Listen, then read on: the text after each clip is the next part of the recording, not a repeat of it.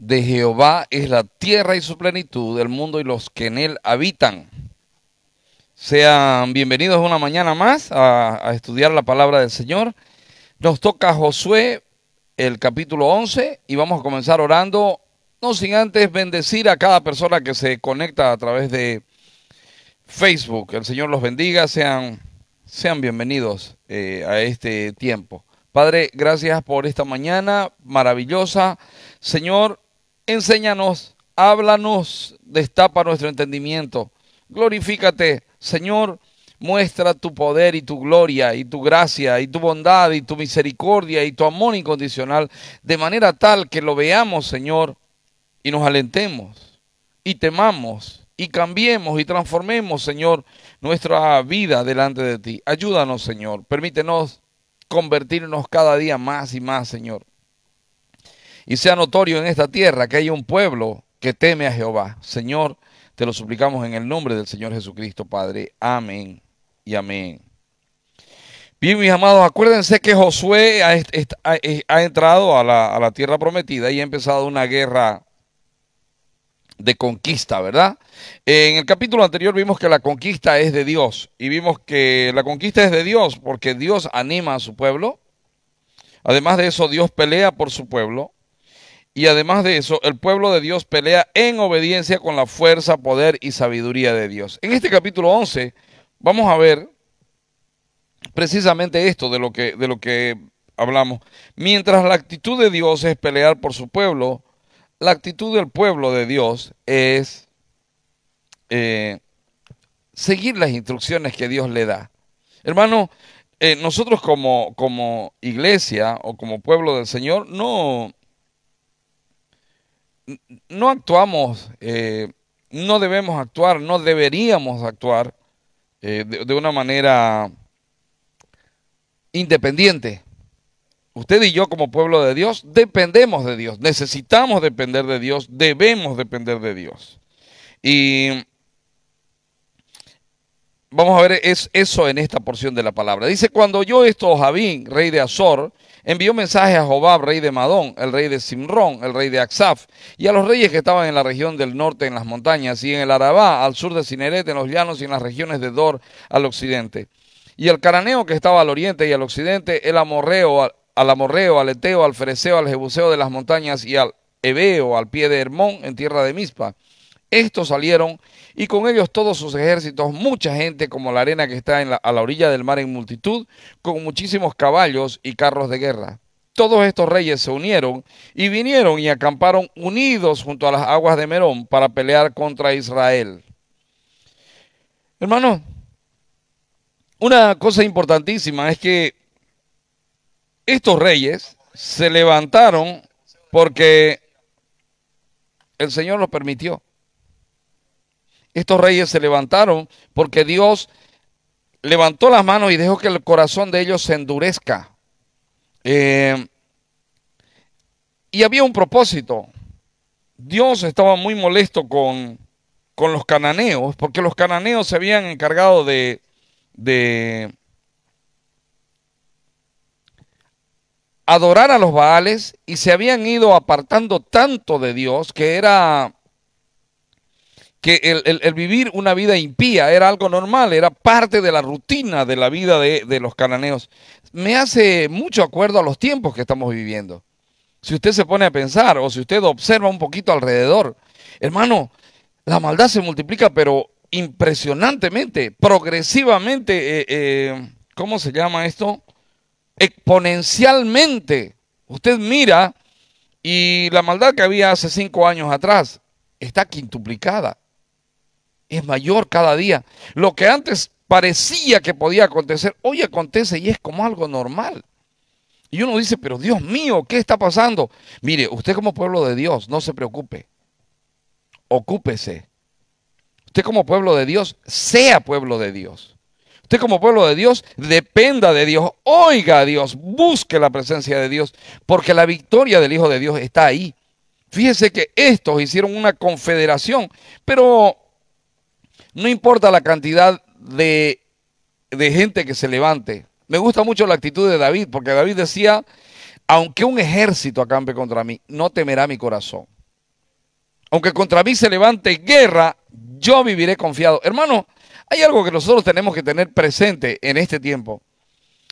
Y es que hay una guerra, aunque siempre ha habido una guerra contra el pueblo de Dios, contra la iglesia en este caso, eh, hay, hay, en este tiempo se ha, se ha hecho más pronunciado el rechazo a los cristianos.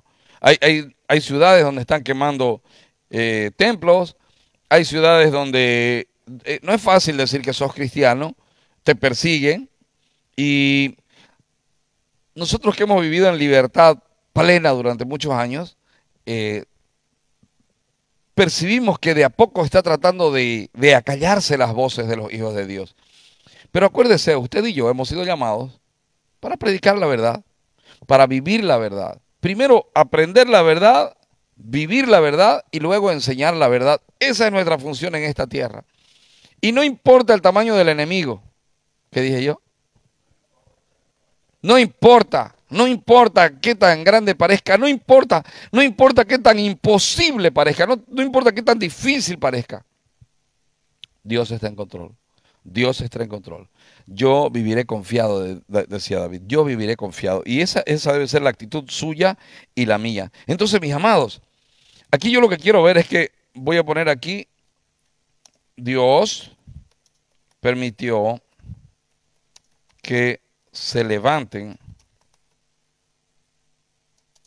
en contra de su pueblo.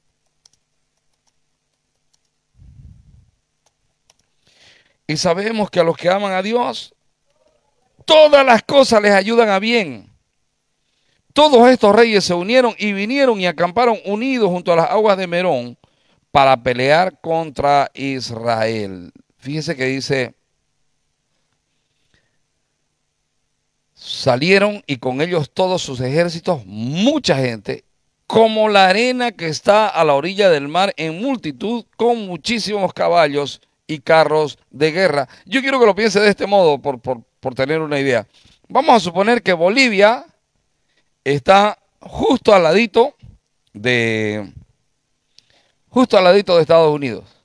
Al ladingo, así como, como estamos eh, unidos con Paraguay o con Chile, así, al ladingo y de repente el ejército gringo se levantara contra nosotros. O se la pongo más fácil.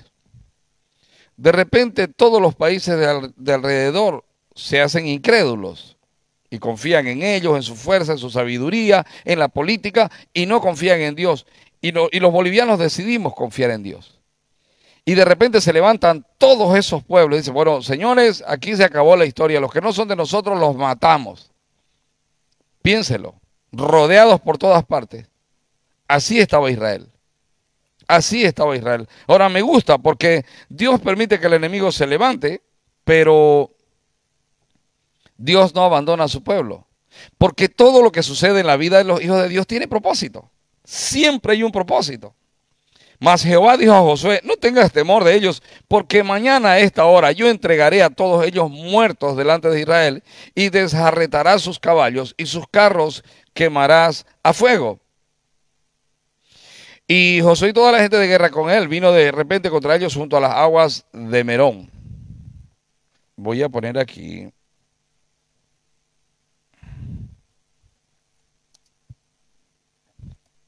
El ejército enemigo era grande en gran manera.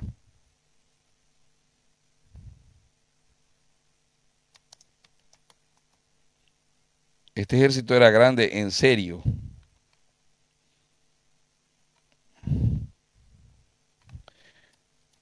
El ejército enemigo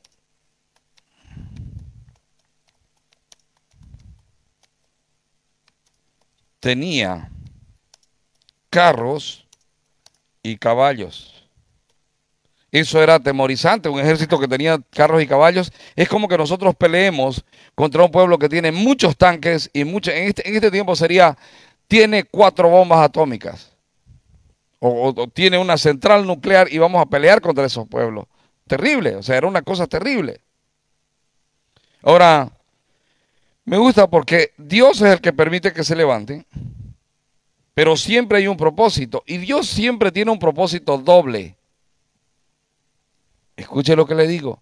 ¿Para qué entró Israel a la tierra de Canaán? ¿Para qué? Para poseerla.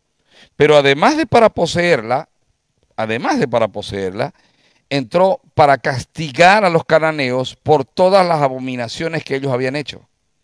Fíjese que Dios le había dado mucho tiempo, como Dios le da mucho tiempo a toda la tierra para que se arrepientan.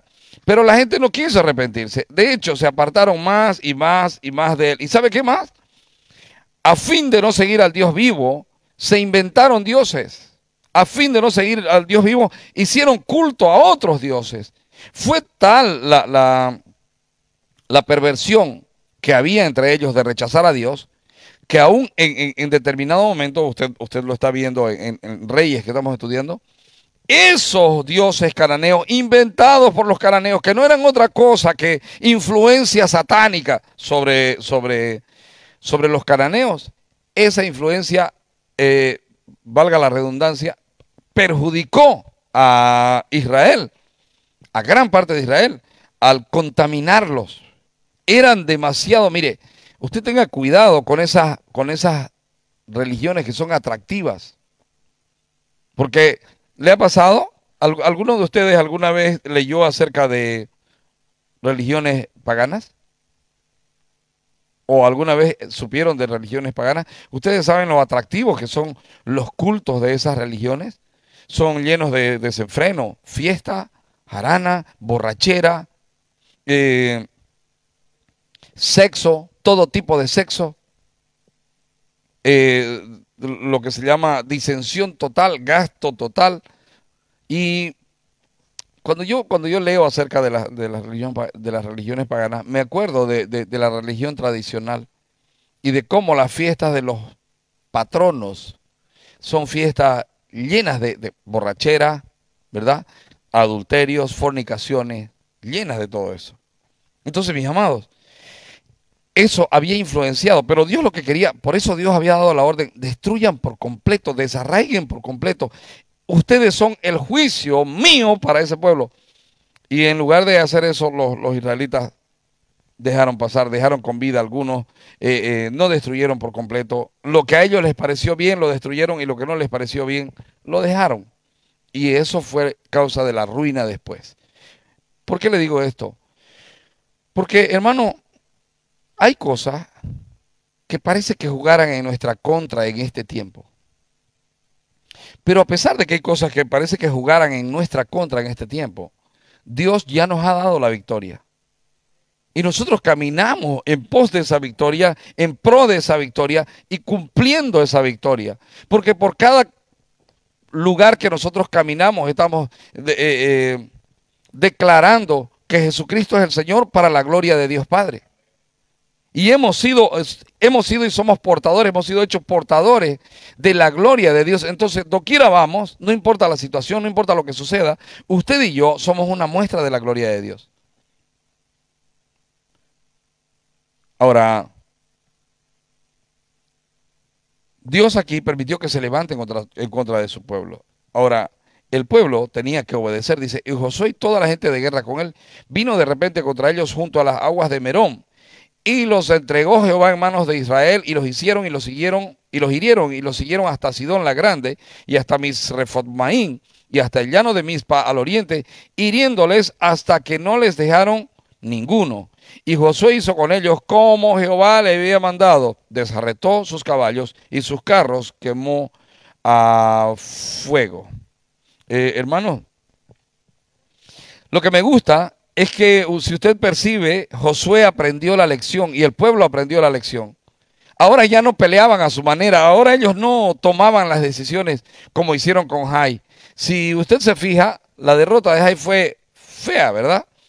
Pero, pero sirvió para que ellos entiendan, oye, esto se trata de obedecer, esto se trata de, no se trata de creerse el eh, eh, que ustedes pueden solos, esto se trata de dependencia de mí constantemente. Y hermano, eso mismo pasa. Yo me gozo cuando llega mi hermano Juan Carlito y me dice, todavía estoy en incertidumbre, no sé si sí o si no, pero estoy contento y estoy tranquilo porque sé que el Señor lo ha hecho, ¿verdad?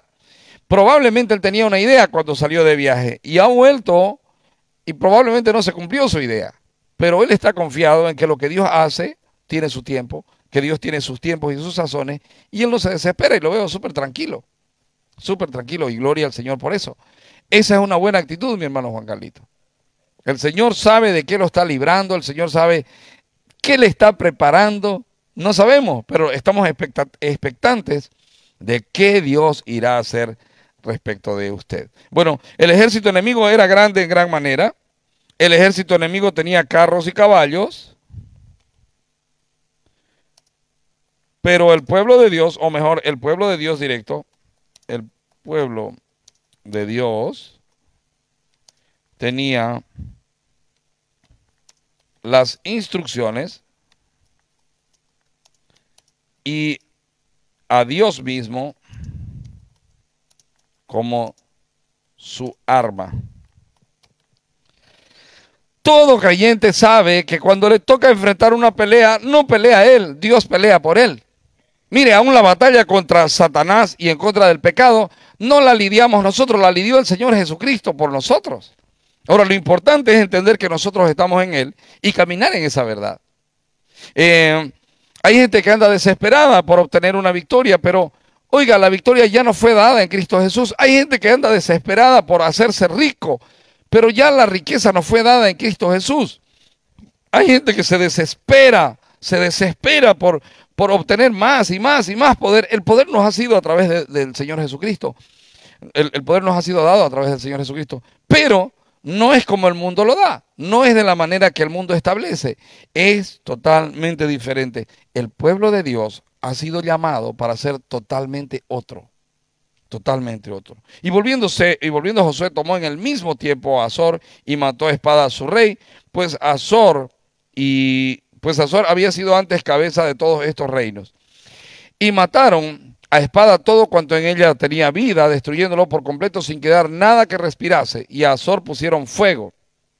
Asimismo, tomó Josué todas las ciudades de aquellos reyes y a todos los reyes de ellas, y los hirió a filo de espada y los destruyó, como Moisés, siervo de Jehová, lo había mandado. Así que el ejército enemigo era grande, el ejército enemigo tenía carros y caballos, el pueblo de Dios tenía las instrucciones y a Dios mismo como su arma. El pueblo de Dios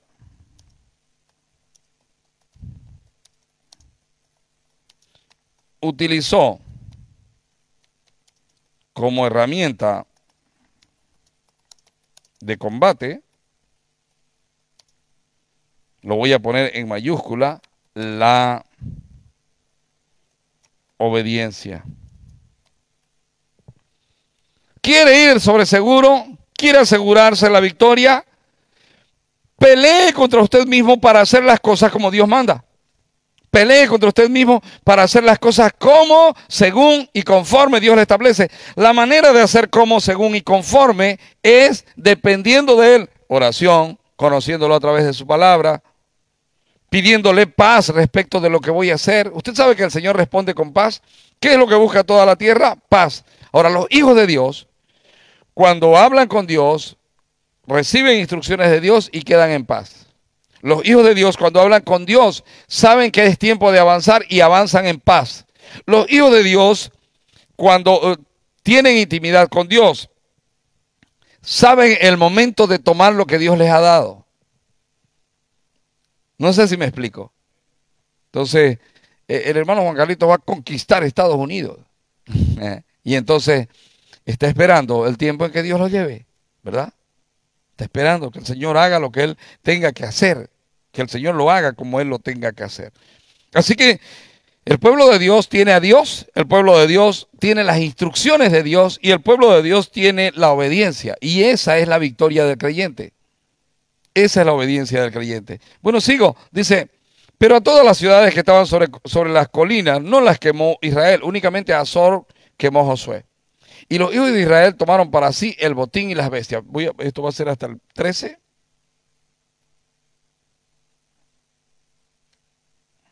Perdón. Hasta el 13. Y aquí vamos a poner punto 2.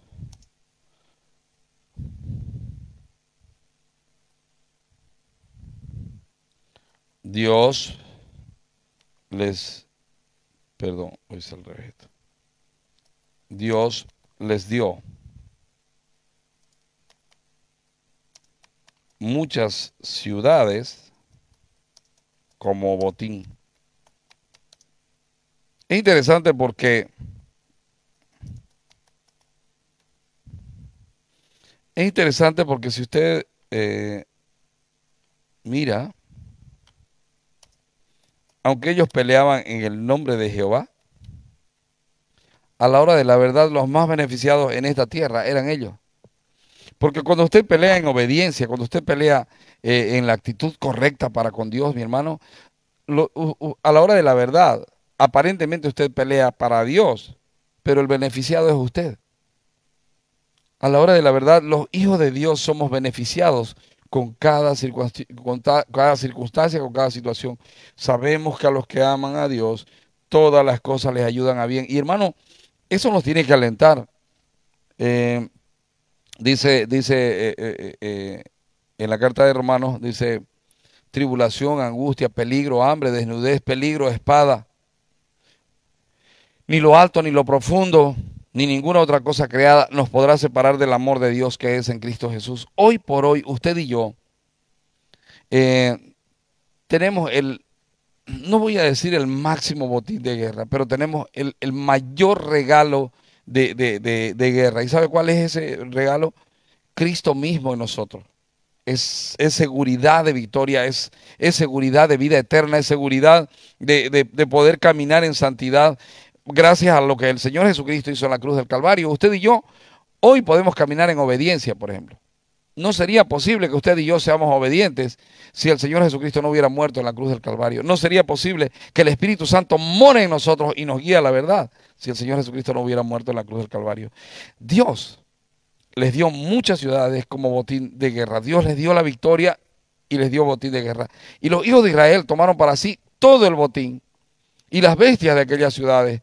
Mas a todos los hombres hirieron a filo de espada hasta destruirlos sin dejar alguno con vida, de la manera que Jehová lo había mandado a Moisés su siervo, así Moisés lo mandó a Josué y así Josué lo hizo sin quitar palabra de todo lo que Jehová había mandado a Moisés. Eh, dice, ah, eh, Dios le dio muchas ciudades como botín. ¿Cuál era la razón? Porque pelearon en el nombre de Jehová.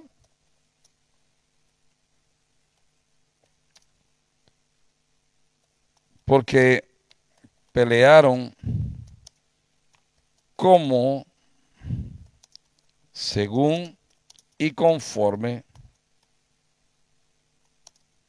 los guió Jehová.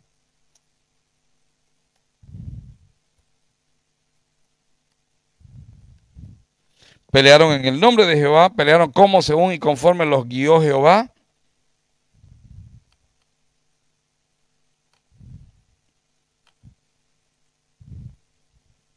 Pero además de eso dice,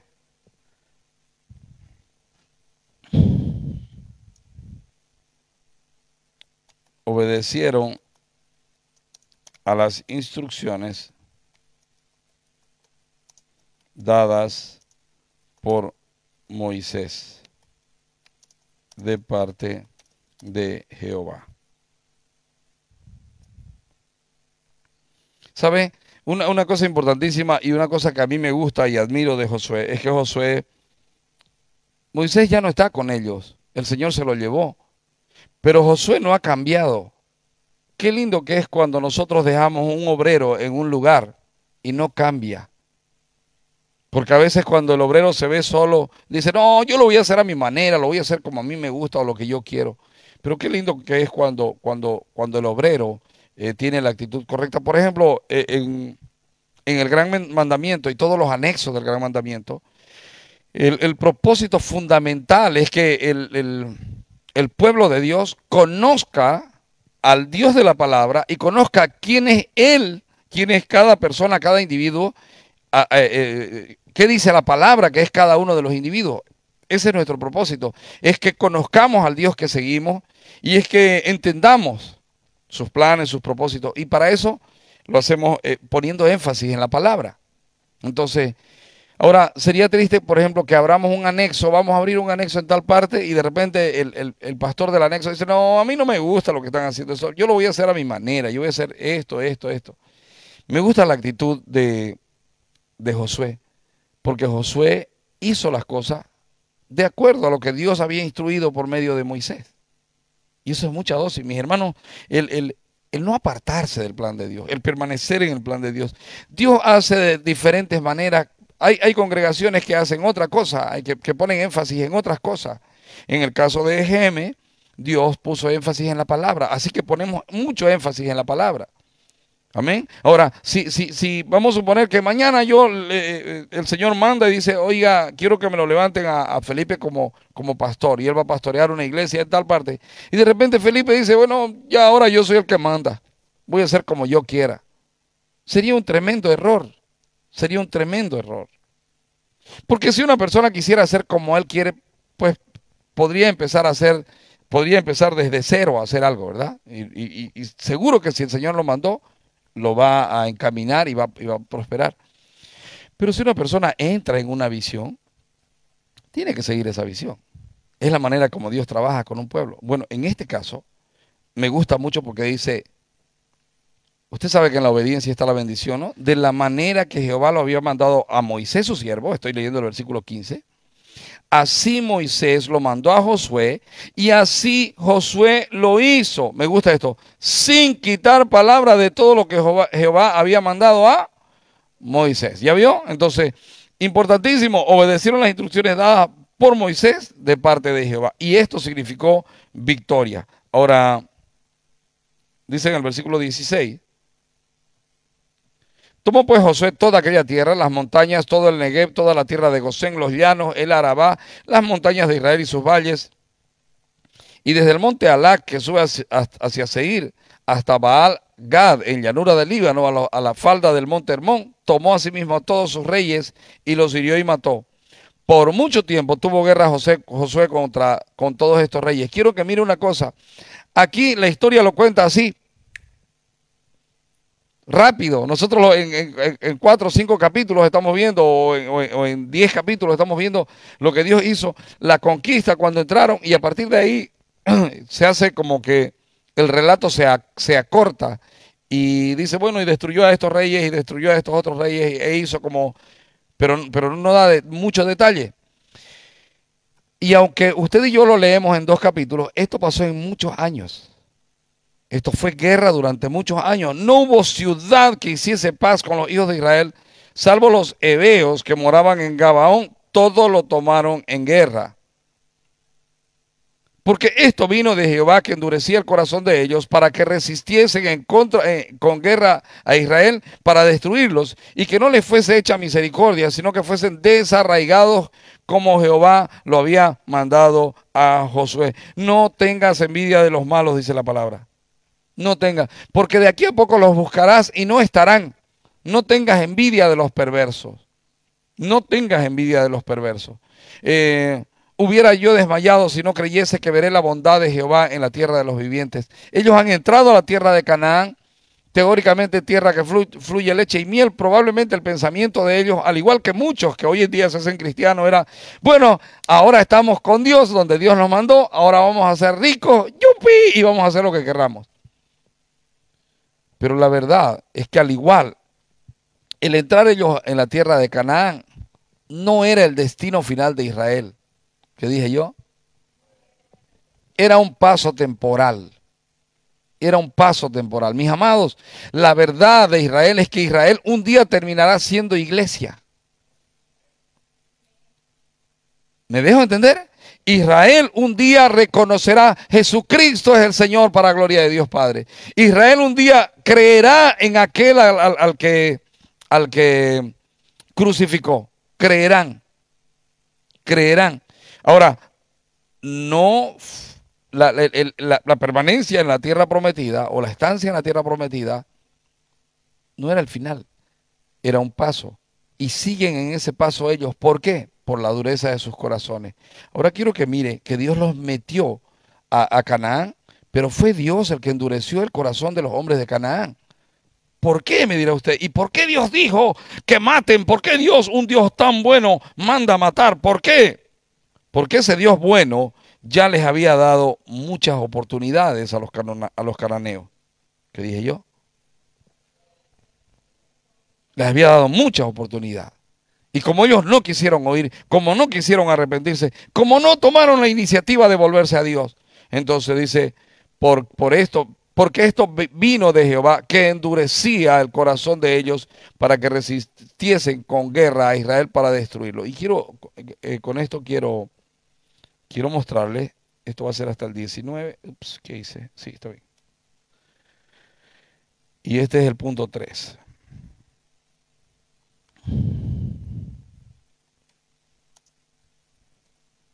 La guerra fue larga y cruenta porque así lo determinó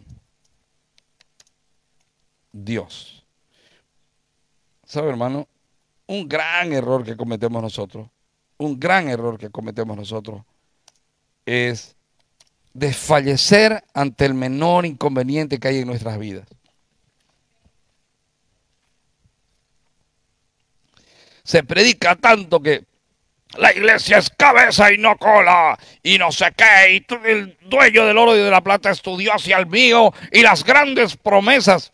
Pero no se predica la otra parte, la de, oye, Dios puede permitir tiempos de sufrimiento. Oye, Dios puede no darte lo que pedís. Oye, muchas de las cosas que vas a pedir en oración, Dios no te las va a dar. Oye, aunque te muras por hacerte rico, Dios no te va a dejar ser rico si Él no tiene un propósito con eso.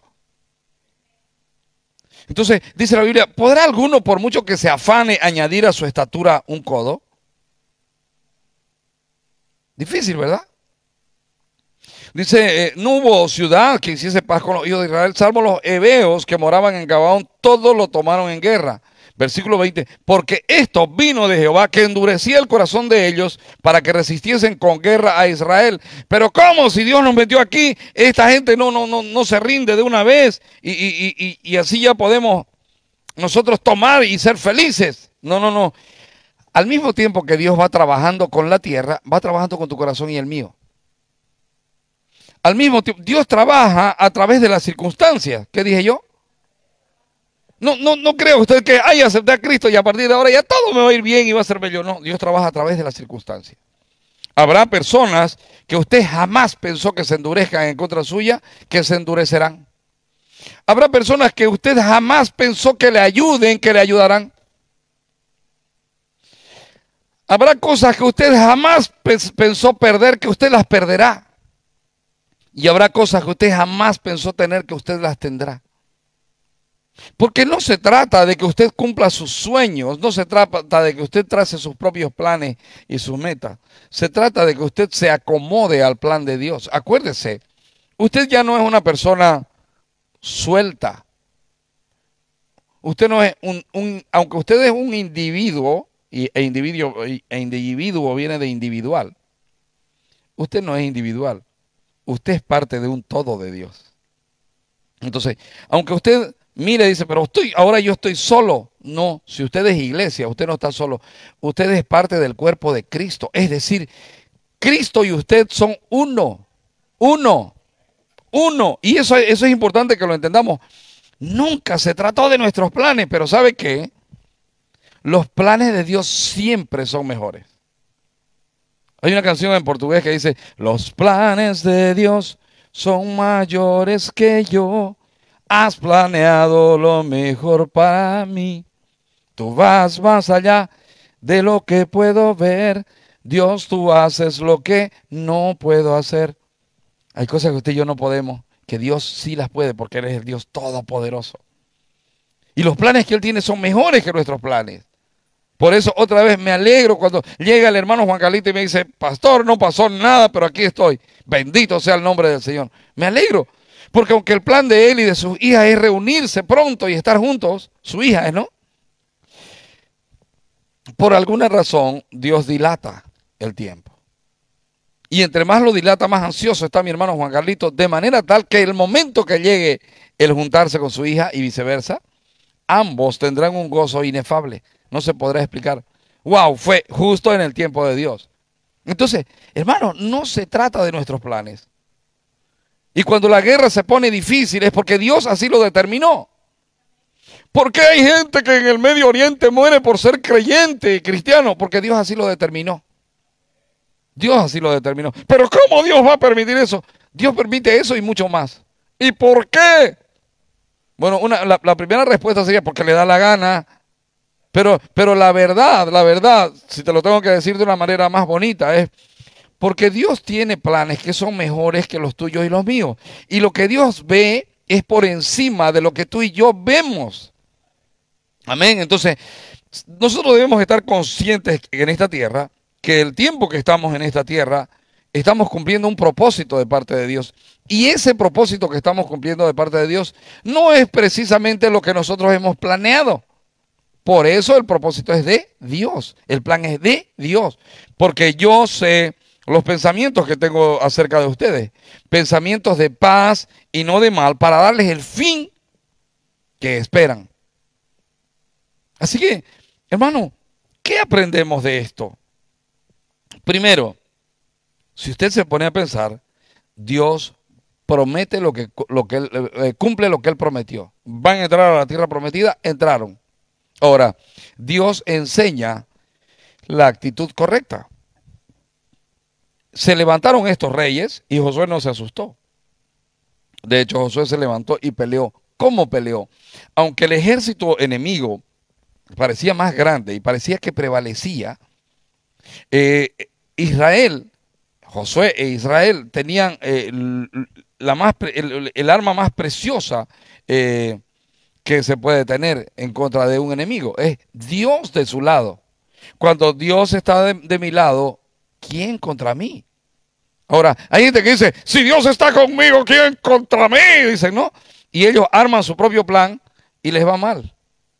Y después no saben cómo explicarlo. Yo se los puedo explicar el que Dios esté conmigo significa yo estoy metido en el plan de Dios y voy en el tiempo de Dios, a la manera de Dios y según el propósito de Dios. Amén. Entonces, ese, es un error que se enseña ahora. Ahora, el pueblo de Dios utilizó como herramienta de combate la, la misma herramienta que usted y yo debemos tener siempre. El arma poderosa que tenemos, el arma que nosotros tenemos es todopoderosa, porque es Dios mismo peleando por nosotros a su manera, a su modo y cumpliendo su plan. Es para nosotros sí, pero, pero es a su manera. Ahora, ¿cómo nosotros, eh, qué herramienta utilizamos en combate? ¿Qué herramienta vamos a usar? La obediencia, la obediencia. Usted obedezca y usted verá. Usted busque la palabra no para saber más y pelear con los otros. Usted busque la palabra para obedecerla. ¿Sabe? Enséñele a su alma a obedecer y usted va a ser más que vencedor siempre, siempre. Los hijos de Dios fueron llamados a obediencia y los que obedecen son más que vencedores. Ahora, Dios les dio muchas ciudades como botín de guerra. Hubo ciudades que Dios dijo, no me tocan esto, y ellos tuvieron que no tocar. Pero hubo ciudades que Dios se las entregó en las, ciudades de las colinas. Usted, lo, usted verá más adelante, vamos, vamos a mirar eso. Pero Dios definió qué ciudades. Pero ¿por qué no les dio, por ejemplo, Jai? ¿Por qué? o por qué tuvieron que destruir Jericó por completo? Dios sabe. Dios sabe. Ellos quizás querían entrar y de una ya pocha esta ciudad, mira, mira, mira las paredes que tiene, mira, mira, impresionante el muro, siete metros de ancho, doble muro, wow. No, no, un ratito, esta la voy a destruir, dijo el Señor. Yo me imagino lo que ellos pensaban.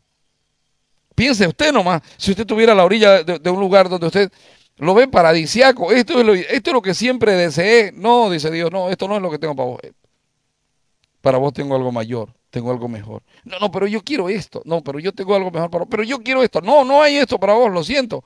Pero voy a pelear para conseguir mi sueño. No, para vos no es eso. No es lo que tengo para vos. Lo que tengo para vos es mejor y te va a traer paz al corazón.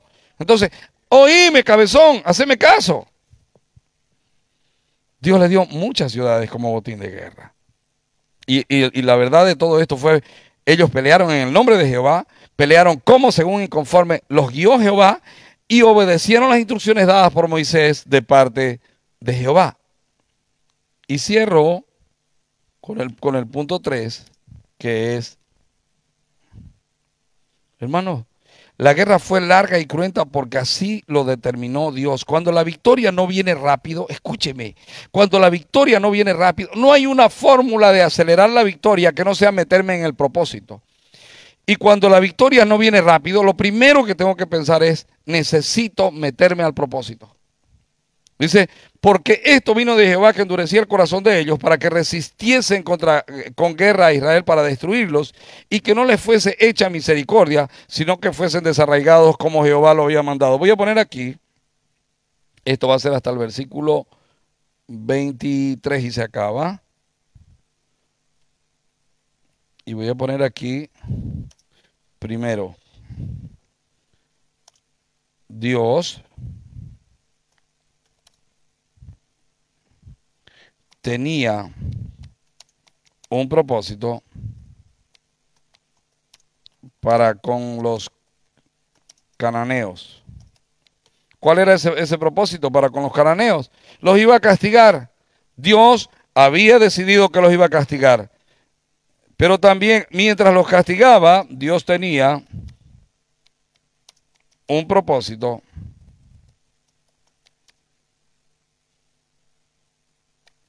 para con los israelitas. ¿Cuál era el propósito para, para, con los israelitas? Van a entrar a esta tierra y la van a poseer y van a vivir ahí para gloria mía. Ese era el propósito para los israelitas. Fíjese que dice aquí, ninguno de los anaseos quedó en la tierra de los hijos de Israel. Solamente quedaron en Gaza, en Gad y en Asdod. Tomó pues Josué toda la tierra, versículo 23, conforme a todo lo que Jehová había dicho a Moisés. Y la entregó Josué a los israelitas por herencia, conforme a su distribución según sus tribus. Y la tierra descansó de la guerra. Hermano, todo lo que ocurre en esta tierra no ocurre por si acaso. No hay nada que se escape a la mano poderosa de Dios. No hay nada. Pero pastor, ¿cómo es posible? Ya, ya teníamos conquistado el gobierno, yo no sé lo que pasó. Bueno, yo sé lo que pasó. El plan de Dios era ese. No, pero ¿cómo nos va a hacer Dios eso de, tenernos? Ah, no, mejor pensémoslo del otro lado. ¿Cómo le vamos a hacer nosotros eso a Dios? Dándonos tantas cosas a Dios. Apartarnos de Él pensar que se trata de nuestros sueños, anhelos y deseos y buscar nuestros propios propósitos cuando Dios tiene otro propósito para con nosotros. Amén.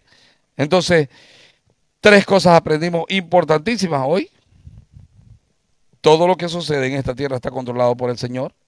Todo lo que sucede en esta tierra. Y Dios permite que se levanten contra su pueblo. Dios, Dios exalta a su pueblo. Dios hace como Él quiere.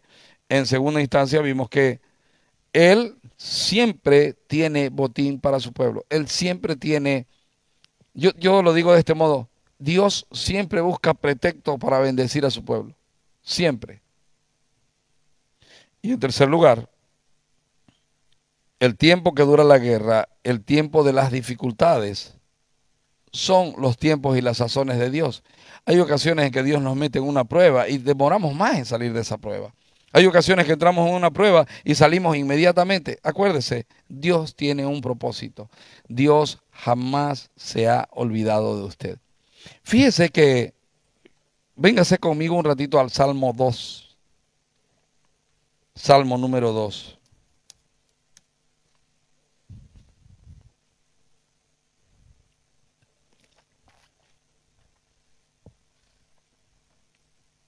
Quizá usted se pregunta, pastor, eh, eh, pero Señor, ¿por qué me pasa esto? Quizá usted le ha estado preguntando al Señor, Señor, ¿por qué estoy viviendo lo que estoy viviendo? Bueno, he aquí el Salmo 2. ¿Lo tiene? ¿Por qué se amotinan la gente si los pueblos piensan, piensan cosas vanas? Se levantarán los reyes de la tierra y príncipes consultarán unidos contra Jehová y contra su ungido, diciendo, rompamos sus ligaduras y echemos de nosotros sus cuerdas. Siempre que hay un cristiano, estorba a los moradores de esta tierra. Siempre. Y la gente empieza a odiar a los cristianos porque los cristianos como que les estorbamos, como que somos una piedra en el zapato. Ahora, se amotinan en contra de los cristianos. Hoy la pelea es contra del cristianismo, aunque usted no lo crea. Ahora, ¿por qué sucede esto? ¿Por qué sucede esto? Dos razones principales. La primera, el pueblo de Dios se aparta de Dios.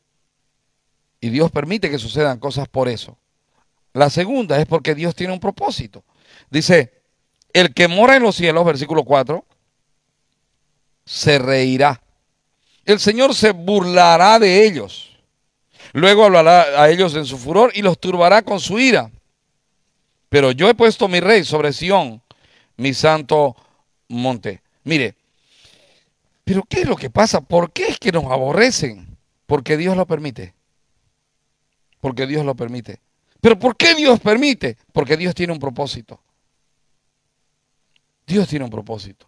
Ahora, lo que debo saber y lo que, en lo que me debo centrar no es, ay, este problema es terrible. En lo que me debo centrar es, Dios está en control. Mire, dice en el versículo 4 que Él está en los cielos y se burla. Se burla. ¿Ya usted pensó? Alguien quiere hacerle daño a usted y Dios está mirando y usted piensa, me están haciendo daño y Dios está mirando de arriba y está diciendo, negativo, te están haciendo un favor. Esto te va a ayudar a tu bien. Esto sirve para tu bien. ¿Está aquí todavía? Luego dice, yo publicaré el decreto. Jehová me ha dicho, mi hijo eres tú, yo te engendré hoy. El salmista está recordando, oye, ¿por qué es que se han levantado en contra mía? ¿Por qué es que la gente de repente se ha puesto en mi contra? Y luego dice, oye, el Señor está mirando desde los cielos y se va a reír. En cuanto a mí, yo voy a obedecer. Yo publicaré el decreto. Jehová me ha dicho, mi hijo eres tú, yo te engendré hoy. Pídeme y te daré por herencia a las naciones y como posesión tuya los confines de la tierra. Los quebrantarás con vara de hierro, como vasijas de alfarero los desmenuzarás. Ahora pues, oh reyes, sed prudentes, admitida amonestación, jueces de la tierra, servid a Jehová con temor y alegraos con temblor.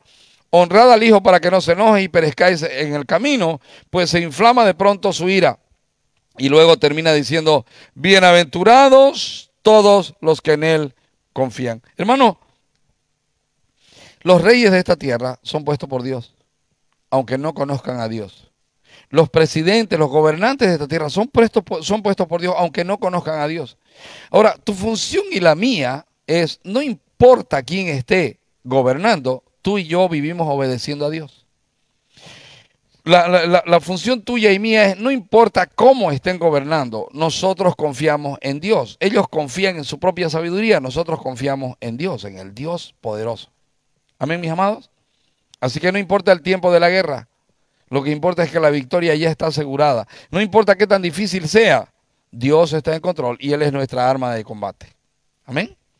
Oramos. Padre, gracias te damos por este tiempo. Señor, espero haber transmitido la palabra de la manera que tú la pusiste en mi corazón. Y que mis hermanos entiendan que de verdad, Señor, que de verdad no hay nada que suceda en esta tierra que escape a tu voluntad. Que no hay nadie que pueda descuidarte, Señor. Que no hay nadie que se pueda salir con la suya. Que Señor, tú estás en control de todas las cosas. Y Padre, que no hay quien pueda, Señor, eh, cuestionarte por qué haces así. Señor, tú eres Dios. Tú sabes lo mejor para nosotros. Tus planes son sublimemente más altos que nosotros, Señor. Padre, permite que lo entendamos como pueblo tuyo y permite que caminemos en esa verdad y que nos gocemos en esa verdad. Señor, gracias una vez más por cada hermano que está aquí y gracias, Señor, por cada eh, persona que nos ve y nos verá a través de las redes sociales. Señor, venga tu reino, hágase tu voluntad a nuestras vidas. Y Señor, que en medio de estos tiempos de incertidumbre, en medio de estos tiempos de oscuridad, en medio de estos tiempos de maldad, nuestro corazón esté guardado por ti, nuestra vida escondida con Cristo en ti y vivamos, Señor, confiados, sabiendo que nada que ocurra en nuestra vida es para nuestro mal, si de verdad somos hijos tuyos. Mi Padre, gracias en el nombre del Señor Jesucristo. Amén y amén. Bien, mis amados, nos vemos en un ratito para estudiar